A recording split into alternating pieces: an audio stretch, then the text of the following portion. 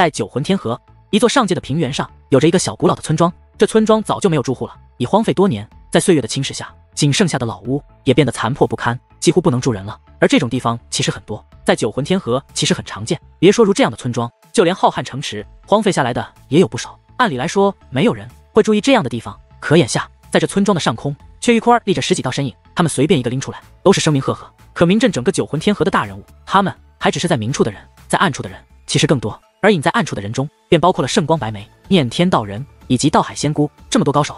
之所以会出现在这里，便是因为这里乃是慧智大师出生的地方，是慧智大师的故乡。可能是思乡之情有助于修炼，也可能是单纯的念旧。总之，慧智大师每次闭关都会选择在这里。所以，熟悉慧智大师的人，若是有事找他，就会在这已经无人的村庄外等候。可眼下，他们的目光却都没有落在村庄之内，而是望向村庄的远处。那里耀眼的光芒一重着一重，如滔天猛兽，欲要吞噬天地。此时明明是深夜，本该是夜色盖地，可在那光芒的照耀下，这方天地比白昼之时还要明亮。但那可并非异象。而是三股强大的力量正在交锋。慧智大师已经出关了。慧智大师刚刚出关，阴刃大师便真的现身，想要邀请慧智大师与他联手。可阴刃大师不知道的是，怨神婆婆与圣光白眉他们早就等候于此，等的并非是慧智大师，而是阴刃大师。于是当阴刃大师出现那一刻，怨神婆婆便直接说明了来意，她要阴刃大师交出仙喵喵以及笑笑公主。当阴刃大师拒绝之后，怨神婆婆便出手了。原本人们以为这场对决将毫无悬念，阴刃大师虽然也是名声赫赫。乃是九魂天河御用的最强界灵师，可若要真与怨神婆婆比，那其实完全不在一个层次。交战之前，不明真相的人们还想不通，阴刃大师是坏了哪根筋，竟敢挑战怨神婆婆。直到二人开始交手，人们才惊愕的发现，这阴刃大师竟如此利奥的。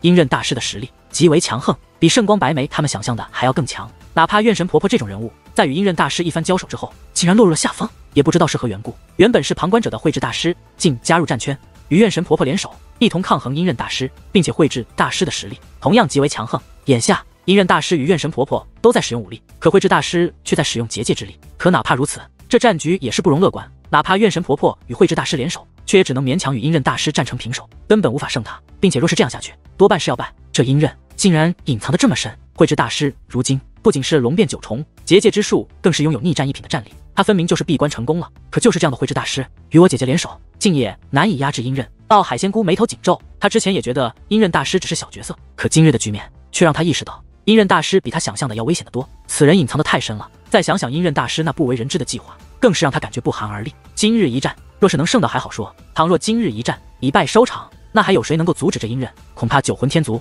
也未必有这个能力。想到这里，隐隐间他已经有了一种极为不好的预感。难道我九魂天河大劫将至？可那能破劫之人明明已经走了啊！到海仙姑神色复杂，她早就用预言灵石预测到。九魂天河会有一场大劫，并且还预言出能够阻止大劫的人，便是他刚收下的弟子王玉贤。为了阻止这场大劫，道海仙姑对王玉贤几乎倾囊相授，而王玉贤也是没有让他失望，成为了名震九魂天河的天才。可最终那预言灵石结束之时，预言却发生了变化，预言出了另外一个可以阻止这大劫的人，而这个人便是楚风。起初，道海仙姑也是不太相信九魂天河的大劫会需要一个外人来阻止，可随着楚风的成长，他的想法也开始动摇，因为楚风的成长速度太快了。如今更是全面超越了他的弟子王玉贤，而如今这阴刃私下伪装，展露恐怖实力，并且有着惊天阴谋，让到海仙姑意识到席卷九魂天河的大劫很可能与这阴刃有关。但是楚风明明已经被狱宗地狱使抓走了呀，这阻止大劫的人都不在了，那这大劫若真的掀起，九魂天河将何去何从？又是一声巨响，汹涌的涟漪快速肆虐天际。可当这声巨响之后，那方战圈便没有再传来轰鸣声，且很快一道飓风出现，将那漫天的涟漪也是吹散开来。当涟漪消散，在场之人的表情。皆是变得异常凝重。对决结束了，可败的却是怨神婆婆与慧智大师这两位早就名震整个东域的大人物，如今却皆是瘫坐在了地上。虽然阴刃大师没有进一步的伤害他们，可他们却是被阴刃大师控制住了。若非亲眼所见，任凭是谁都不会相信这两位大人物会摆在阴刃大师的手中。而此时的阴刃大师容貌并没有发生变化，可他站在那里，这在场之中却再也没有一个人敢小看他。忽然，阴刃大师衣衫舞动，其体内的威压覆盖了这片天地，而在场的所有人。都被覆盖在了那威压之中，在场围观之人竟也被他的威压束缚住了。威压之后，其大袖一挥，磅礴的结界之力也是扩散开来。结界之力所过之处，竟使得原本隐藏的众人也都露出了真容。就连念天道人、圣光白眉以及道海仙姑这三位，也是未能幸免。果然，你们也在，只是可惜楚风那小子居然没来。阴刃大师对圣光白眉与念天道人说道：“阴刃老贼，你休要猖狂，我圣光一族不会放过你的。”圣光白眉说道：“我发现了，你这老东西。”就是嘴硬，你圣光一族怎么现在也没来找我？难道是不敢了吗？没关系，你圣光一族不用来了，我会回到平圣光天河的。只是希望那个时候你圣光一族的人能够躲得掉，别被我一网打尽。阴刃大师笑眯眯的说道：“笑话，打进我圣光一族，就凭你？”圣光白眉冷然一笑，他虽然现在根本不是阴刃大师的对手，也知道阴刃大师的强悍，可若是阴刃大师敢前往圣光一族，他却是丝毫不惧。毕竟他对他家的圣主大人还是充满信心的。不过对于倔强的圣光白眉，阴刃大师倒也没有计较，而是将目光一一投向在场的其他人身上。今日真是好日子，不仅请到了慧智大师与怨神婆婆，居然连到海仙姑以及这么多大师都来了。阴刃大师扫视一圈，最终将目光落在了道海仙姑的身上。这也足以看出，在场虽然有着不少声名赫赫的界灵师，可在阴刃大师心中，道海仙姑的分量仍是其中较重的，甚至是仅次于慧智大师与怨神婆婆的。阴刃，你到底有何阴谋？道海仙姑凝声问道。她现在基本确定九魂天河的大劫与阴刃有关，所以她很想知道这阴刃到底要做什么事。毕竟这关系到九魂天河的未来。阴谋，别把话说的这么难听。但你若是想知道，其实不用急于一时，以后会有机会的。我相信在场的诸位应该也都很想知道我阴刃到底想做什么。放心，若是足够幸运，你们可以见证我的伟大之举。但是现在，我可以先告诉你们另外一件事：阴刃并非我的真名，我真正的名字叫做司马相图。话罢，阴刃大师的面容开始变化，虽然还是老年，可是他的面容却变成了另外一个模样。司马相图，你竟是司马相图！看着此时的阴刃大师、圣光白眉以及念天道人，都是倍感吃惊，因为他们都是见过司马相图的，只不过当初的司马相图在他们眼里就只是一个小角色罢了。他们是无论如何也没有想到，如今这个在九魂天河掀起如此大风浪的阴刃大师，竟然会是司马相图。两位原来还记得我呀，所以你们应该知道我为什么一定会要去圣光天河了吧？毕竟那里才是我的故乡。司马相图的嘴角露出了一抹笑容，只是这抹笑容却是如此的阴森狡诈，充斥着不好的感觉，哪怕圣光白眉也是不寒而栗。司马相图，原来你躲到了这里！忽然一声怒吼响起，但是那并非老者的声音，而是来自一个年轻人。顺声观望，所有人都是大为吃惊，因为不知何时。一道年轻人的身影出现在了这方天地，正满眼怒火的怒视着司马相图。旁人的吃惊是不知道这个人是谁，而圣光白眉、念天道人以及怨神婆婆、道海仙姑他们却都是慌了，因为这突然出现的年轻人乃是楚风。若是之前楚风出现，他们还不会如此害怕。但眼下连怨神婆婆与慧智大师都败了的情况下，楚风这个时候出来，无异于是自投罗网。楚风师弟，你快走！见到楚风出现，怨神婆婆虽然被压制住了，可还是第一时间发出了声音：“楚风师弟，这年轻人。”竟是怨神婆婆的师弟，而怨神婆婆此话一出，虽然没有劝走楚风，但却让在场的其他人对楚风有了新的认识。师弟哟，难怪怨神婆婆会因为你而找我麻烦，原来和你还有着这么一层关系。只是怨神婆婆怎么会是你的师姐呢？你们的那位师尊到底是谁？此时司马相图也是好奇的问道。司马相图，也许你应该藏得更深一点，不该今日表露出你的身份。楚风没有回答司马相图，而是对其说出了另外一番话。只是说这番话的时候，楚风是咬牙切齿的。司马相图是何人？楚风自然知晓。他便是当年害了牛鼻子老道的罪魁祸首楚风。我知道你为何如此恨我，你是想替你的师尊报仇，对吧？说来也巧了，其实你的那位师尊也在我这里。只是我猜，他应该不是你与怨神婆婆共同的师尊吧？毕竟他这种废物，也就只能骗骗你了，怎么可能有资格成为怨神婆婆的师尊？司马相图说道。你什么意思？楚风目光变化，他猜到了什么，但却又有些不愿相信。我是说，你的师尊也已是我的阶下囚了。随后，司马相图当着众人帮的面，将自己的右眼球扣了下来。只见其将那眼球捏碎，鲜血喷溅之际。一道结界门竟然浮现而出，那结界门是透明的，能够通过此门看到内部的情况。那结界门内乃是结界牢笼。师尊看到结界牢笼的第一眼，楚风便脱口而出，因为那结界牢笼之内困着两个人，一个是笑笑公主，而另一个正是楚风的师尊牛鼻子老道。师尊看着此时的牛鼻子老道，楚风除了愤怒，更感心疼。别看笑笑公主与牛鼻子老道都是被困在了那结界牢笼之中，可二人的处境却全然不同。笑笑公主虽然被困，可却安然无恙，并未受伤，但牛鼻子老道。却被一百三十六道结界钢钉贯穿肉身，被钉在了一块诡异的黑色木板之上。牛鼻子，不不不，应该是元空兄，你还是有手段啊！楚风这样的天才，居然能够对你如此死心塌地。你看他那生气的眼神，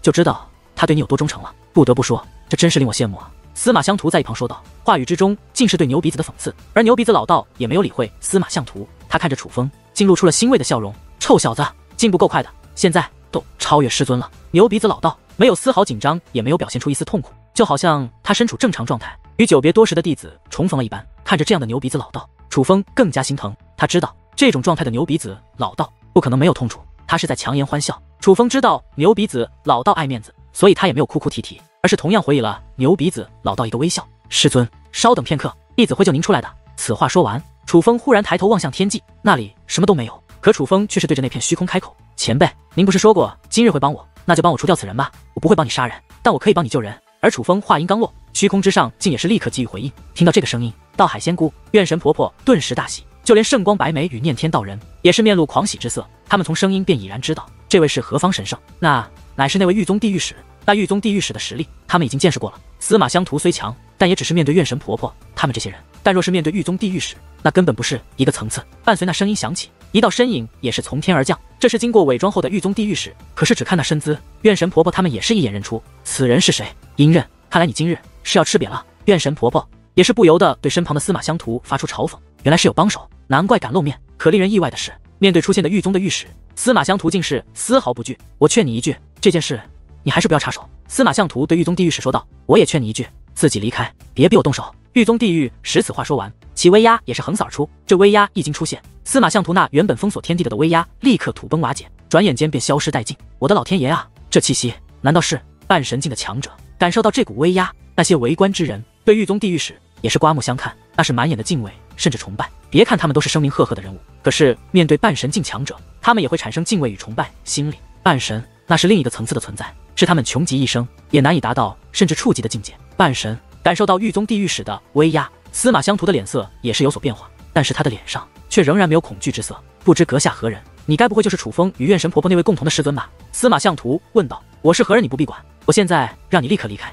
听得懂就照做，你若听不懂，就由我来叫你做。狱宗地狱是有些不耐烦的说道。不愧是半神境，还真是霸道。但是我就将话放在这里，今日这些人我全部都要带走，包括你，我也要带走。司马相图说道。而他此话一出，就连楚风等人也是感到意外，这不对啊。司马相图怎么连半神境强者也不惧怕？难道说他的实力还并未真正展现？难道说他也是半神境的存在？不见棺材不落泪。而就在众人猜测之际，狱宗地狱使则是身形一晃，直接消失不见。再度出现之时，已是来到了司马相图身前。那是，只是这一刻，众人皆是神色一致。在司马相图前出现了一道身影，那是一名中年男子，面容俊朗，气宇轩昂。可是，在那一双剑眉之下的眼眸极为凌厉，不怒自威。而狱宗地狱使那已经靠近司马相图的手掌，正是被这名中年男子挡了下来。这一刻，楚风等人终于知道为何司马相图会不惧半神强者了。原来他的身后也是有人撑腰的。这个人，楚风虽不知道他是谁，可是此人一袭白袍，气质超然，宛如仙人临世。而无论是白色长袍之上，还是腰间的令牌，都写着一个相同的势力——丹道仙宗。丹道仙宗的人，你怎么会来到这里？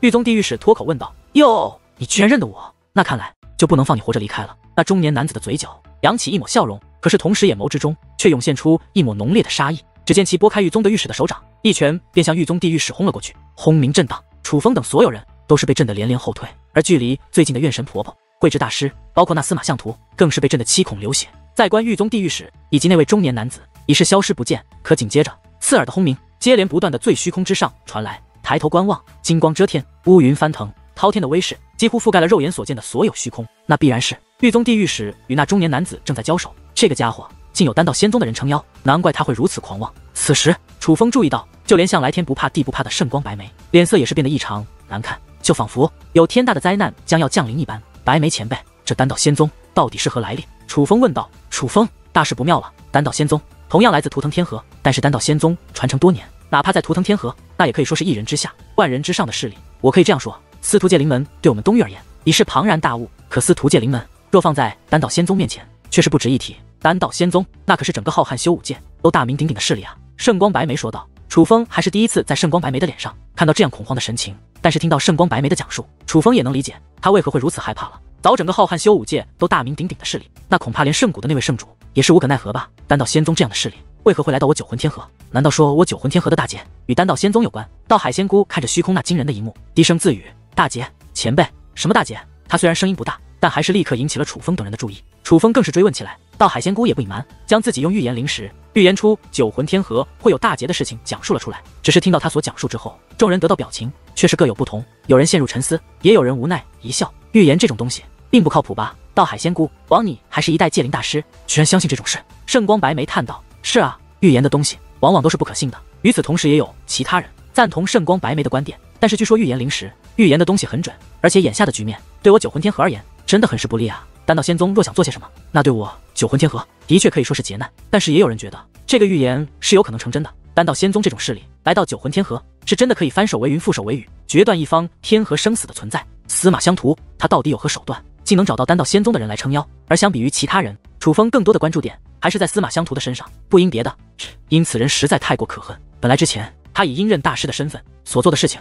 就让楚风对其动了杀心，可现在发现他竟然是害了自己师尊的司马相图，那么楚风与他的恩怨便是无论如何也解不开了。此人楚风必然要除，但也正是因为楚风想要除掉的人，所以楚风也是想要了解更多关于司马相图的事。毕竟知己知彼，才能百战百胜。而从眼下的局势来看，司马相图属实有些难缠，甚至有点可怕。楚风，你相信预言吗？就在楚风思考之际，道海仙姑忽然对楚风问道：“前辈，我不太相信这个。”楚风说道：“这样啊。”听闻此话，道海仙姑忽然沉默了。楚风见他似是有什么话想说，于是问道：“前辈，您是有事吗？”没。道海仙姑摇了摇头。他本来是想告诉楚风，他的预言中，楚风是能够破开大劫的人，但是他又觉得预言这种事情，若是不信，那就算说出来，便也没了意义。楚风少侠，那位是怎么答应放你回来的？圣光白眉也是问道。他所指的那位，自然是狱宗地狱使。那位狱宗地狱使性格有多倔强，他们都是见识过的。而现在，狱宗地狱使不仅放楚风回来了。而且居然还愿意帮着楚风对付司马相图，甚至对抗丹道仙宗的人，这让他觉得必然是发生了什么事情，并且还是非常特别的事情，不然那位的态度是不可能有如此大的转变的。这位少侠，您请来的这位是何方神圣啊？必然也不是我东域之人吧？与此同时，也有不少人开始楚风询问楚风，他们虽然在九魂天河都是有着极大名声的人，可此时对楚风却是极为的尊敬。之所以如此，自然是与楚风带来了半神境的强者有关。可楚风现在根本没心思回答这些问题。伴随越发刺耳的轰鸣响起，大地都开始碎裂塌陷，地底深处连岩浆都开始喷涌而出。这方世界几乎陷入了最原始的阶段。楚风等人不仅是修武者，并且修为皆是不弱，可是他们哪怕站在虚空之上，却也承受着巨大的冲击。而这一切都是来自于他们头顶之上那场半神境强者的战斗。那两位半神有意保护下方的人，所以那涟漪并未正常肆虐。如若不然，只是那涟漪。都足以将楚风等人毁灭。可哪怕对方已经明明有意的保护楚风等人，可那涟漪还是对楚风等人造成了一些影响。这便是半神境的恐怖之处。半神，半神，言外之意便是拥有神力的存在。对于平民百姓而言，修为高深的修武者就是神。可是半神境，哪怕对于武尊境的强者而言，那也同样是神，是能够主宰他们生死的神。而眼下，楚风之所以如此认真的注视虚空，是因为他能感觉到战局已经进入焦灼状态。这样下去，应该要不了多久，这场由狱宗地狱使对战丹道仙宗强者的对决。就会落下帷幕，而这场对决的胜负也将决定楚风等人的命运。楚风猜对了，此时的虚空之上，狱宗地狱使与那位丹道仙宗的强者正在激烈对决。狱宗地狱使的修为不仅得到了提升，并且更是手握两把黑色的镰刀，那都是价值不菲、品质极佳的尊兵。此时此刻，狱宗地狱使浑身缠绕的黑色气焰，再加上他此时的穿着以及手握的兵器，看上去真的如同自地狱走出来的恶魔一般。可同时，他却也是气喘吁吁，甚至身上已是出现了几道血淋淋的伤痕。他竟然受伤了。而再看那位丹道仙宗的中年男子。左手握着一个银色罗盘，右手拿着一把银色长剑，一身白袍之上随风而动的同时，竟还散发着一众淡淡金光，宛如一轮明日将他笼罩。他看上去是如此的正气凛然，就如同仙人下凡，并且他的身上可是没有一丝伤痕的。只看二者的情况，便知道他们到底谁优谁劣了。丹道仙宗为何要插手九魂天河之事？狱宗地狱使问道。我丹道仙宗要做的事，不需要向任何人解释。丹道仙宗的中年男子说道。他十分自负，哪怕明知道眼前这个人并不弱，可他给人的感觉。却是全然没有将对方放在眼中。其实不管你有何目的，我都不想管。我是因为楚风才出手的，你可否给我个面子，放过楚风和他的朋友？狱宗地狱使说道。你什么身份？我要给你面子。丹道仙宗男子问道。我什么身份？既然你想知道，那我就成全了你。狱宗地狱使此话说完，一重结界之力便覆盖全身，而结界之力所到之处，去所带的斗笠以及身上的长袍都开始发生了变化。他的服饰已是恢复成了狱宗地狱使的样子。原来是狱宗的人，狱宗的人也学会多管闲事了吗？然而。令人意外的一幕发生了，哪怕狱宗地狱使人亮出了身份，可这位丹道仙宗的男子却依然没有表现出丝毫恐惧，甚至他的话语还多了一分讥讽。我狱宗很少插手这些事情，但既然插手，就有插手的理由。我今日既然亮明身份，那我也给你一个理由。楚风那孩子乃是我狱宗的人，所以他的事就是我狱宗的事。你说我要不要管？狱宗地狱使说道。原来是这样，那我若不给你这个面子呢？丹道仙宗的中年男子反问道。那你就是要与狱宗为敌？丹道仙宗有这个胆量吗？狱宗地狱使说道。胆量。那丹道仙宗的中年男子发出了一声意味深长的笑声，随后他竟扯开自己的衣服，指向了自己的心脏处。在他的心脏处，应该原本有着一座阵法，那阵法应该是他还是孩子的时候就加持在了他的身上。可现在那阵法已经被摧毁了，被摧毁的彻彻底底，就连心脏都造成了难以修复的损伤。那伤疤触目惊心。你既然知道我丹道仙宗，你应该知道这意味着什么。丹道仙宗的中年男子指着自己心脏处的伤疤说道：“原来你是被丹道仙宗除名的人。既然都被除名了。”为何还要穿着丹道仙宗的服饰胡作非为？狱宗地狱使问道。无论是否被除名，我体内都流淌着丹道仙宗的血，总不能他们说不是，我就不是吧？他们有什么资格，有什么权利？说这番话的时候，这男子的语气加重了不少，其中更是蕴藏着不小的怒意。既然你自认为还是丹道仙宗的人，你就应该还在意丹道仙宗的死活。你应该知道与我玉宗为敌的下场。玉宗地狱使说道。我的确在乎丹道仙宗的死活，但我不在乎那些虚伪之人的死活。况且你以为你是谁？你只不过是玉宗小小的地狱使，玉宗最低等的家伙，你也配拿玉宗威胁我？况且我若杀了你，又有谁知道我杀了玉宗的人？话音落下，那丹道仙宗的中年男子便猛然发动了攻势，虚空之上开始传来猛兽般的怒吼，但那并非真正怒吼，而是武力交织所发出是声明。又出手了，这一次估计真的要结束了。刚刚狱中地狱使与丹道仙宗中年男子的交谈，楚风等人都没有听到，他们不知道具体发生了什么，只知道激烈的交锋得到了短暂的缓解。可现在对决再度开始，并且比先前还要凶猛，这很可能到了分出胜负的时候。于是楚风等人望着虚空，皆是皱紧了眉头，就连司马相图眼中也是或多或少涌现出了一些担忧。他们都很清楚，这场战局的胜负也将决定他们的命运。忽然，楚风感觉到一股力量将其包裹，紧接着周围的一切开始变化。当一切停止，恢复正常的时候，楚风惊愕地发现，他已经身处于另外一片天地。原本他们所在的天地早已被那两位半神的涟漪摧毁得面目全非，宛如人间地狱。可现在，楚风所在的地方却是鸟语花香，头顶之上也没有遮天蔽日的武力，而是漫天的星辰。他已经离开了刚刚的地方，并且离得很远。而带他离开的人，正是狱宗地狱使。此时的狱宗地狱使就站在楚风的身旁，只是此时的狱宗地狱使情况却是不容乐观。眼下的狱宗地狱使半个身躯都被没了，狱宗地狱使竟然败了。前辈，您怎么样？见到这样的狱宗地狱使，楚风赶忙释放结界之力，开始为狱宗地狱使疗伤。只是楚风的疗伤手段却很难帮助狱宗地狱使恢复，哪怕断掉的肉身，楚风都无法帮其恢复。没事，小伤而已。难道仙宗的人果然不容小觑？同等修为之下，我竟不是其对手。狱宗地狱使感叹道，而从他的语气中能够听出，他是有些不服气的。前辈，您……楚风仍然心感惭愧，狱宗地狱使的伤很重，否则不可能连他都无能为力。可对方却说是小伤，这让他更感惭愧了。因为回来的路上，狱宗地狱使对楚风的态度变得更加的好，甚至刚刚是狱宗地狱使主动叫楚风现身，主动说他会帮助楚风的。而狱宗地狱使越是对楚风好，楚风越是惭愧，感觉对不起这位。你这小子还真是重情重义。我知道为何你会这么想救你的朋友了。看着楚风那焦急且心疼的模样，狱宗地狱使则是感到欣慰。我不是不想把你的朋友们一起救出来，而是我做不到。就算是你，也是因为我提前在你身上留下了阵法，才能带你逃出来。不过楚风，你放心，你的那些朋友都会得救的，因为现在。已经不仅仅是你们之间的事了，狱宗地狱使说道。随后，狱宗地狱使也是将他对那单道仙宗之人亮出身份，可对方却不给面子，这件事告诉了楚风前辈。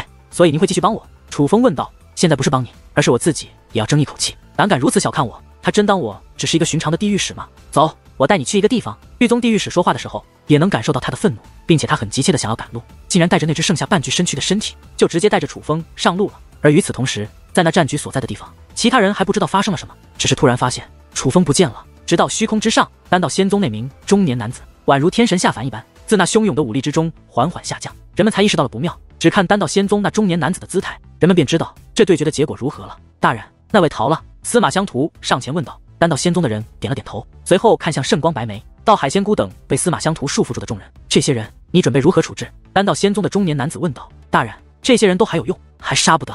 司马相图说道。那你就先将他们抓起来，我再与你细说。丹道仙宗的中年男子说道：“遵命。”司马相图也不怠慢，将怨神婆婆、圣光白眉等所有人在场之人全部塞入了那个困着牛鼻子老道的结界牢笼之中，随后又将那牢笼恢复成眼球，放入了自己眼睛里。你就不能用个正常的结界牢笼？真是恶心！丹道仙宗的中年男子很是嫌弃的看着司马相图大人：“我这结界牢笼乃是至宝。”司马相图笑着解释道：“少见的。”他也是露出了十分殷勤的模样。刚刚那个小鬼叫楚风对吧？丹道仙宗的中年男子问道：“回大人。”此子是叫楚风，司马相图说道。那楚风带来的帮手可不简单，是狱宗的人。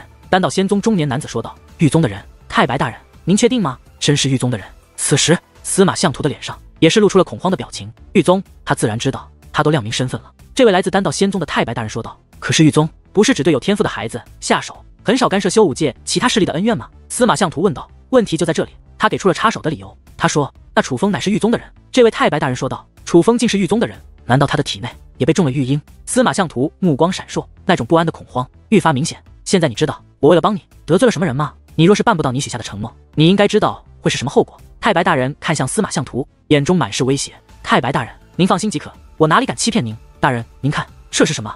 司马相图说话间，从乾坤袋内取出一个刻满符咒纹路的葫芦，递给了丹道仙宗的这位太白大人。葫芦打开，一股绿色的气焰从葫芦之中浮现。当气焰浮现那一刻，气焰周遭的空间开始颤动。伴随气焰越来越多，空间颤动的范围越来越大，且动静也是越来越大。到了后来，这方天地都开始剧烈颤动，连空间都出现了裂痕，甚至大地裂痕深处那已经平复的岩浆，也像是受到了某种感应，开始沸腾起来。这绿色的气焰竟能影响天地万物的变化，你居然真的找到了！看着这绿色的气焰，丹道仙宗这位太白大人脸上也是露出了一抹笑容。大人，倘若这力量是汪洋大海，那我这葫芦之中的就真的只是一个葫芦的分量。司马相图说道。好，非常好，司马相图，只要你能兑现诺言，我保证让你一飞冲天。太白大人说道。大人，只是我现在的力量还没有办法全部做到这一步，所以还要有劳大人将那仙人鼎借我一用。司马相图说道。仙人鼎已经在开启中了，要不了多久就会彻底开启。只是我之前就已经告诉过你，催动仙人鼎可是需要极大的力量，而这件事我丹到仙宗也不会帮你，要靠你自己。你真的有这个本事吗？太白大人用那质疑的目光看向司马相图。大人放心，只要您将开启后的仙人鼎借给我就可以，剩下的事我自己可以解决。司马相图说道：“你有这个把握就好。但我丑话说在前头，我们的约定是我将仙人鼎借给你，然后你帮我拿到我要的东西。仙人鼎借给你之后，无论你能否顺利催动，但你都必须帮我拿到我要的。如若不然，你知道后果的。”太白大人看着司马相图说道：“大人，这件事您放心即可，我绝对不会让您失望的。只是如今那楚风绝对不会善罢甘休的，若是玉宗真的帮他，那我怕我的计划会受到影响。”这件事，这件事，你放心即可。玉宗虽然难缠，但玉宗一个地狱使，我还不放在眼里。事成之前，我会护你周全。太白大人说道：“那就依仗大人了。”听到这句话，司马相图的脸上再度露出了笑容。经过一番赶路，楚风与狱宗地狱使来到了九魂天河的另外一个世界。但狱宗地狱使将楚风带到一个黑色的湖泊前，湖泊如同开水一般，是沸腾的状态。但诡异的是，看上去如此不堪的湖水，却散发着淡淡的香气。在这里等着，哪里都别去。眼下。狱宗地狱使那缺失的肉身已经恢复，可是气息还是非常的虚弱。且说完此话，他便跃入了那湖泊之中。楚风知道狱宗地狱使来这里是找人的，虽然找的究竟是谁，狱宗地狱使没有告诉他，但楚风知道他要找的人应该是可以帮他复仇的人，而这个人多半就是狱宗的人。狱宗的御史进入湖泊后，一路深入，到达底部之后，拿出了一道符纸，他左手捏出法诀，口中也是念出口诀，随后轻喝一声，骤开，那右手双指之间的符纸便燃烧起来，而燃烧之后所化作的气焰，竟是闪烁着符咒的光芒。光芒于湖底飘散，面积也是越来越大。起初一切正常，可是突然好像触碰到了什么，那光芒所过之处开始出现物体。随着物体全貌浮现，可以看到那是一座古老的水中宫殿，坐落在这湖底之中。但是在符咒光芒掠过之前，那里是什么都没有的。宫殿浮现之后，狱宗地狱使便立刻对着宫殿施以跪拜大礼。鬼字地狱使有要事求见玉江大人。狱宗地狱使说道：“嘎吱。”他话音刚落，那古老宫殿的大门便突然打开。而殿门之后，一道身影也是站在其中。这位身材比之常人要高大许多，身高足有十米，身材也是非常壮硕。虽然看不到面容，但只是这体型便给人一种十足的压迫感。而他的穿着，则是与狱宗地狱使相差不多，白色的斗笠，红色的长袍。但唯一不同的是，这位除了白色斗笠、红色长袍之外，身后还有着一道白色的斗篷，斗篷上面则是以黑色字体写着“玉江”二字。发生何事？玉江问道。大人，属下此次遇到了三位罕见的天才，本想带回狱宗，只是狱宗地狱使。先是将他遇到楚风、宋宇以及黑焰小女孩的事情告知了这位玉江，随后也将后来遇到神秘男子以及遇到丹道仙宗之人的事情告知了这位玉江。居然有此事，那叫宋允的，给我看看。玉江话音落下，狱宗地狱使便赶忙将那仍在昏迷的宋宇从阵法空间之中取出，送到了狱宗面前。竟真的是传说中的玉婴相容。好，很好，你此次又立下了大功。查探之后，这位玉江也是发出了一阵笑声。大人得到圣坛指引的楚风，同样非同小可，此子天赋极为利奥的，所以大人。狱宗地狱使继续说道：“他其实还是不想放弃楚风，想让楚风加入狱宗。那个楚风就算了，毕竟那个男人都出面了。”玉江说道：“大人，难道您认识那位？”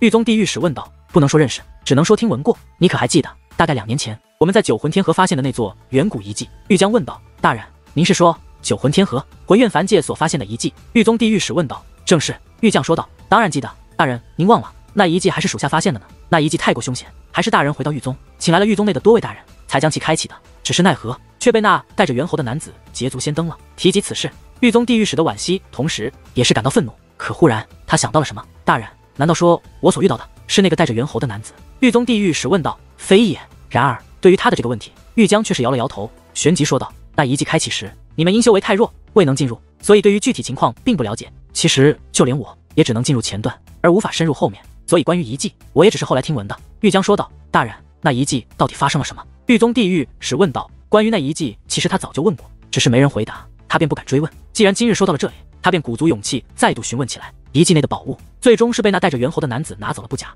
但其实最先给我玉宗造成阻碍的是另外一个男人，那是一个背着砍柴斧头的男人，而此人应该便是你遇到的那个人。”玉江说道：“大人，那您可知此人实力如何？”玉宗地狱使问道：“具体实力不知，但与那带着猿猴的男人一样，都不是我们能够对付的。其实那次，哪怕从我狱宗请来的那些大人，面对那两个男人和那只猿猴时，也都只能选择立刻退出遗迹。当他们出现那一刻，那遗迹便已不是我们能够逗留的地方了。”玉江说道。听到这番话后，玉宗地狱使沉默了，可是呼吸却变得急促。只听他的呼吸，都能感受到他内心所遭受的冲击，为何在东域会出现这样的人物？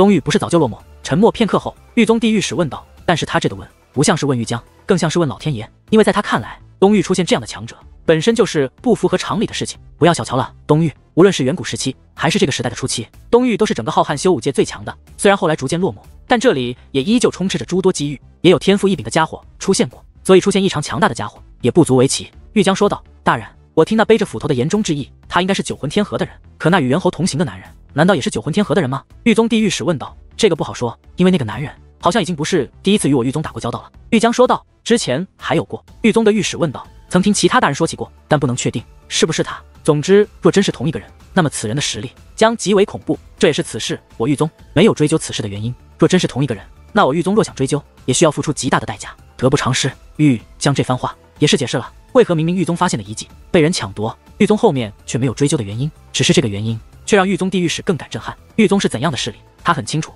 但能够让玉宗害怕付出代价的家伙，整个浩瀚修武界都是屈指可数。那大人，丹道仙宗的事要怎么办？玉宗地狱史又问道。毕竟他来到这里，真正的目的其实就是希望玉将出面对付丹道仙宗的人。若楚风真是玉宗的人，此事必然不能善罢甘休。但既然还不是我玉宗的人，我们也没有理由插手。这就是就算了吧。那个男人既然能够出面让你放了楚风，他必然也在暗中观察着楚风。若是楚风真的出现三长两短，他会出手的。玉江说道。可是玉宗地狱使则是有些为难。可是什么？你该不会答应那楚风会帮他出头了吧？玉江说道。回禀玉江大人，属下的确答应了此事。玉宗地狱使说道。听闻此话，玉江摇了摇头，随后便走到玉宗地狱使身旁，拍了拍玉宗地狱使的肩膀。你别忘记，你是玉宗的地狱使，你要牢记你的使命，不能有世俗之心。玉将说道。大人，属下明白了。玉宗地狱使说道：“将这个丫头带回玉宗吧，你会得到属于你的奖赏。”玉江把宋允递给了玉江地狱使，多谢大人。玉宗地狱使接过宋允，也是发自内心的感谢。他很清楚，玉江完全可以抢夺玉宗地狱使的功劳，但是他没有这样做。但可不是所有玉宗的人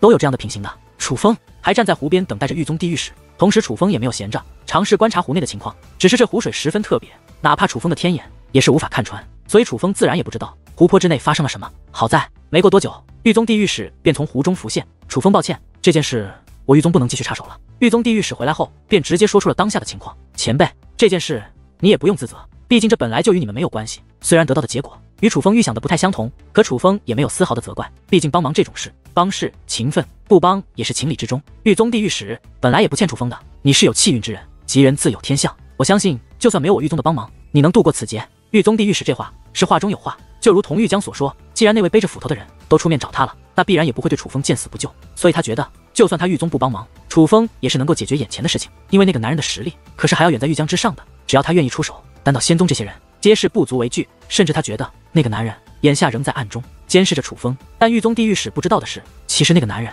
根本就没有跟随楚风，而是在图腾天河警告玉宗地狱使，将楚风安然带回九魂天河后，他就回到了九魂天河。眼下。在九魂天河的一座凡界地底深处，有着一座地下宫殿。这地下宫殿很小，但却十分古老。而眼下，那背着斧头的中年男子以及那小男孩都在这里。小男孩盘坐在宫殿中心，一股强大的阵法正以他为中心运转着。若是楚风看到这座阵法，必然会十分惊叹。身为界灵师，他能够感受到这阵法有多厉害，仿佛天地间的所有力量都会被这阵法所吞噬一般。没过多久，阵法之中便出现了绿色的气焰，而那绿色的气焰与司马相图交给丹道仙宗那位太白大人的气焰一模一样。只是此时阵法之中的气焰却是非常的磅礴。绿色气焰出现之后，这宫殿也是剧烈颤动。伴随气焰越来越多，这宫殿的动静也是越来越大。可突然一声闷响传来，是那中年男子。他只是轻轻的躲了一下脚，这原本剧烈震颤的天地便恢复了正常。而那绿色气焰也开始缓缓的进入小男孩的身体。小男孩应该是在修炼，而中年男子则是摘下身后的斧头，他手掌在斧头上移动，忽然在一处停了下来。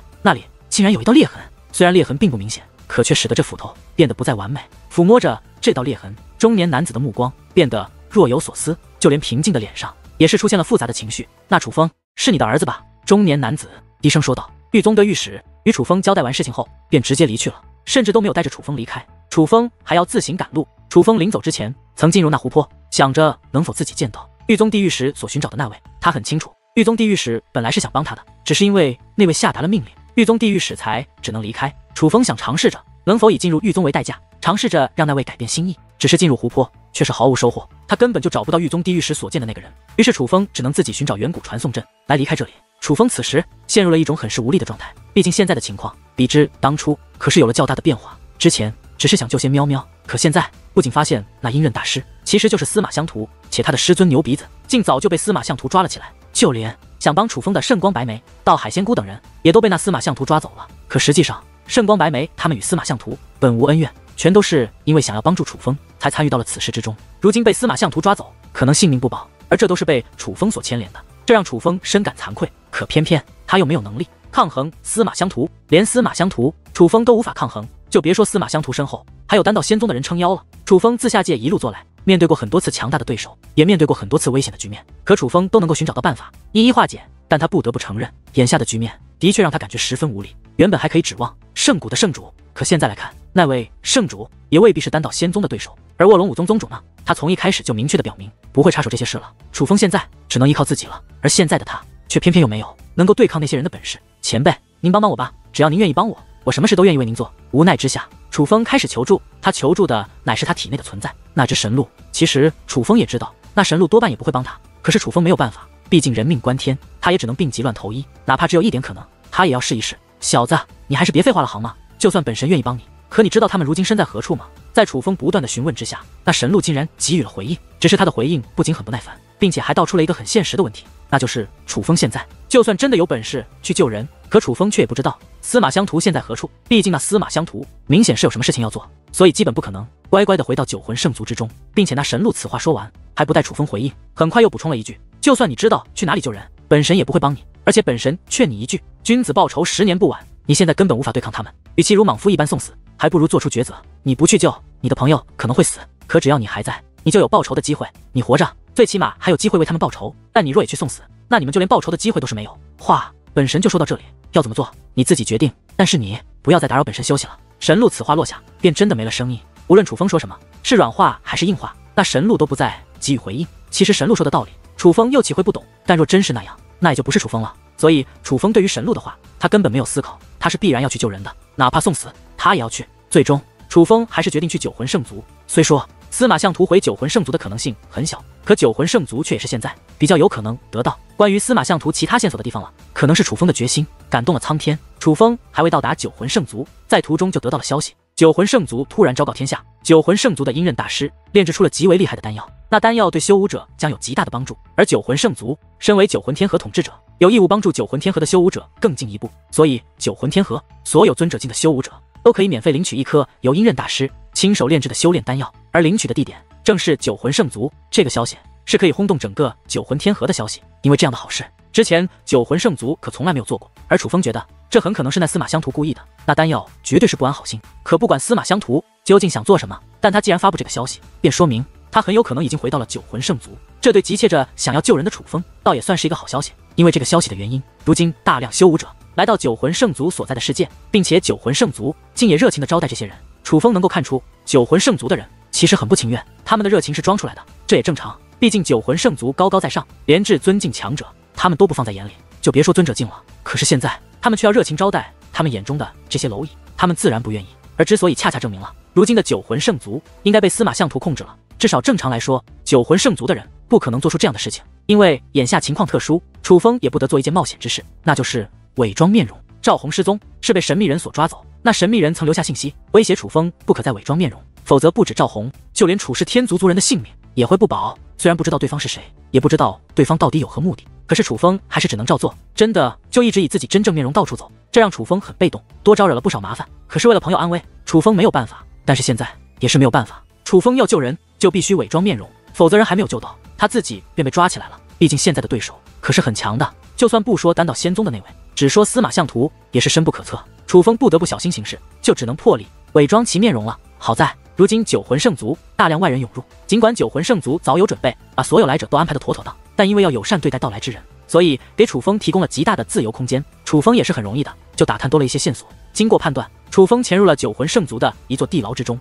因为线索指出，这座地牢不仅看守隐秘，最近更是加大了看守力度，且地牢内有阵法力量出现。他是眼下最有可能关押着圣光白眉与道海仙姑等人的地方。虽然外面守卫森严，潜入困难极大，可是当楚风成功潜入之后，发现的牢内的守卫并不森严。这地牢很大，可几乎所有牢房都是空着的，只有一个牢房关押着人。而那阵法力量也是来自于那座牢房。眼下牢房内的阵法正在催动着，阵法力量遮蔽了一切，楚风看不到牢房内的情况，只能听到撕心裂肺的惨叫，那是来自一个人的声音，并且只凭借其声音，楚风就可以断定那是一个自己不认识的人。找错地方了，那这里关押的是谁呢？楚风虽然也有好奇，但却不想多管闲事。发现找错地方，便想立刻离开。可就在楚风将要离开之际，那阵法的力量开始消散，而那位的惨叫停止之后，竟然开口说话了：“司马相图，你最好杀了本王，否则本王定要扒了你的皮，抽了你的筋，我要你不得好死！”听到这满腔怒火的声音，楚风离开的步伐忽然停住了。他似乎已经知道这关押之人是谁了。楚风再度看向那牢房，原本充斥牢房的阵法力量已然消散，牢房内的情况已可以映入眼帘。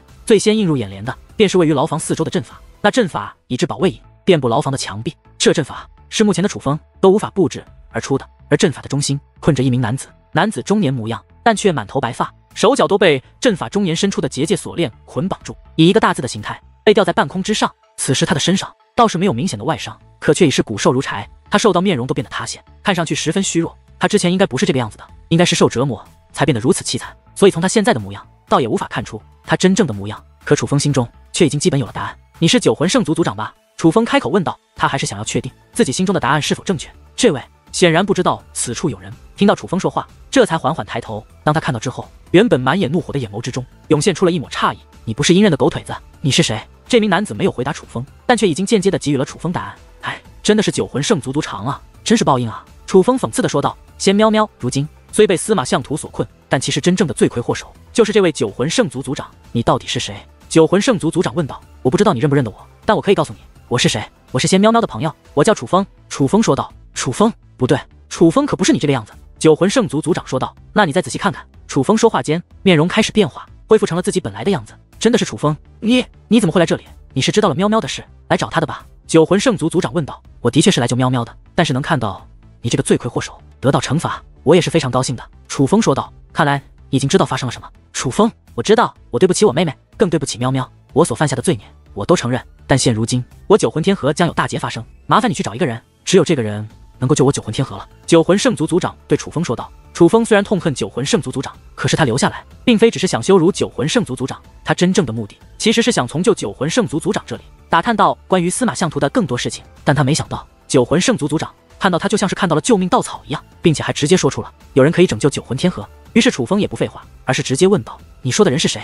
此人现在何处？”此人是……可谁曾想，九魂圣族族长的话还没有说完，便突然变得异常虚弱，紧接着便昏死了过去。喂，你醒醒，可别在这个时候睡啊！见状，楚风赶忙释放出结界之力，布置疗伤阵法，想要帮助虚弱的九魂圣族族长疗伤。然而，楚风的结界之力刚刚进入那牢房，那牢房内的阵法便再度运转起来，在那一刻。楚风感受到了死亡的气息，因为牢房内的阵法释放出了极为恐怖的力量。这一次可不仅仅是折磨人那么简单，而是真的要杀人。最主要的是，那力量不是冲着九魂圣族族长去的，而是冲着楚风来的。很显然，这阵法是有某种机关，而楚风触碰到了这机关，所以这阵法要来抹杀楚风。而最令楚风绝望的是，此时的他连逃脱的机会都没有，简直只能等死。就在这千钧一发之际，楚风感觉一只手掌抓在了他的肩膀之上。下一刻，楚风周围的一切快速移动，很快，楚风便离开了那地牢。并且离开了那九魂圣族。当楚风停下时，已是距离九魂圣族颇为遥远的地方。他停在了一个小山坡上，而在他的旁边，则是站着一名男子。正是这名男子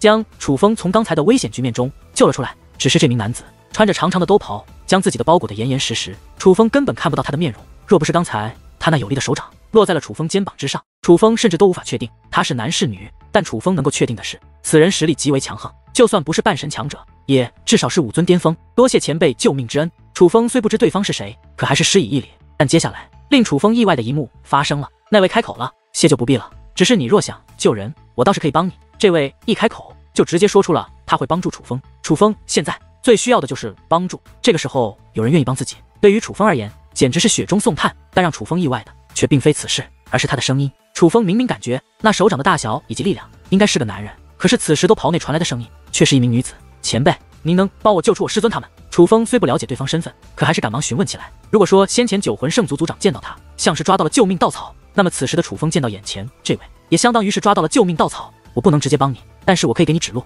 所以能否将他们救出来，还要看你自己。这位神秘的兜袍人说道。这话说出，倒是让楚风心中有些落差。本以为对方会直接出手，不曾想只是为楚风指路。但楚风仍是心怀感激，毕竟现在的他的确毫无头绪。若是对方能告诉自己他师尊他们被关押在何处，那对楚风而言其实也是极大的帮助了。那便劳烦前辈告知晚辈，我师尊他们现如今被关押在何处？楚风问道。我就算告诉你，你师尊他们被关押在何处，你也救不出来。可谁曾想，那兜袍人却是摇了摇头，这让楚风意识到，他好像误会对方的意思了。对方所说的的指路，并非是告诉他牛鼻子老道等人被关押在了何处，而是另有他意。那前辈，您所说的指路是？楚风问道。司马相图有丹道仙宗撑腰，此事你应该知晓了吧？那都袍人问道。晚辈知晓。楚风说道。丹道仙宗来的人可不止一个，你现在若要从司马相图手中救人，就只能在丹道仙宗的那些人身上寻找突破口。而我恰好知道，丹道仙宗有一位少爷在九魂天河的一处地方玩乐，那少爷乃是来到九魂天河这伙人首领的亲儿子。你若能够将他抓到，用他来威胁司马相图，相信司马相图不敢不放人。那都袍人说道：“前辈，那您所说的人在何处？”楚风问道：“都在这里，路指给你了，但是能否做到，还要看你自己。”都袍人的手掌自袖子之中伸出，手中已是多出一个卷轴。他将卷轴递给楚风，楚风便赶忙接过，打开卷轴，上面不仅标记着一个地方，还画着一个画像。那个画像是一个长相普通，但却一脸邪气的男子，并且旁边还有一个名字江空平。显然，这个江空平便是丹道仙宗的那位少爷。多谢。楚风收起卷轴，抬头便想施礼感谢，可这才发现那位兜袍人已经消失了。前辈，楚风尝试着呼唤了几次，但都没有任何回应，对方应该也不会再出现了。此时，楚风心中疑问更多。那兜袍人对楚风似乎颇为了解，否则不可能知道。楚风已经知晓司马相图有丹道仙宗有关系，他很可能早就观察楚风了，而且此人实力极强，远在楚风之上。就算不是半神，也很可能是武尊巅峰，神秘莫测的高人。对楚风的情况以及九魂天河的局势又十分了解，甚至连司马相图以及丹道仙宗的事情，他都如此了解。而楚风之前应该没有与此人打过交道，今日是第一次见面，种种线索聚集在一起，让楚风也是有了一些猜测。此人该不会就是九魂圣族族长口中那位能够救九魂天河的人吧？楚风觉得。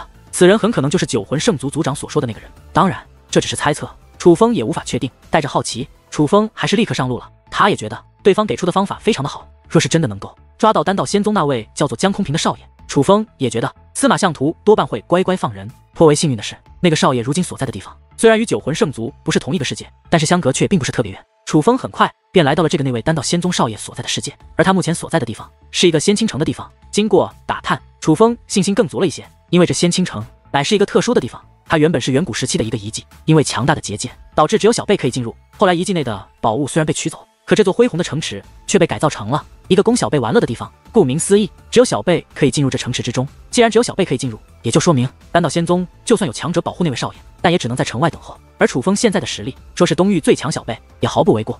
除非那丹道仙宗的少爷拥有着一定本领，否则对于楚风而言，捉拿他。那简直就是小菜一碟。楚风眼下快速赶路，不敢耽搁时间。可是路上也会穿过有人居住的城池或者村庄。刚刚路过的城池之中，楚风又听到了许多哭声，甚至听到了他们的对话。那些传来哭声的地方，都是因为自家的年轻女孩被人强行抓走，且生死难测，所以他们才会如此伤心。而抓走那些年轻女孩的人，都是仙倾城的人，他们是光明正大将女孩抓走的，并且还说是去伺候高贵的客人，日后他们回来定会飞黄腾达。而实际上一路走来，这样的事情，楚风已经听闻了不少，只是一路上。他就听到了这么多，可想而知，那真正的受害人应该更多。该不会是与那丹道仙宗的少爷有关吧？妈的，又被我遇到了一个禽兽吗？楚风虽然没有停留询问，可心中却已然有了自己的猜测。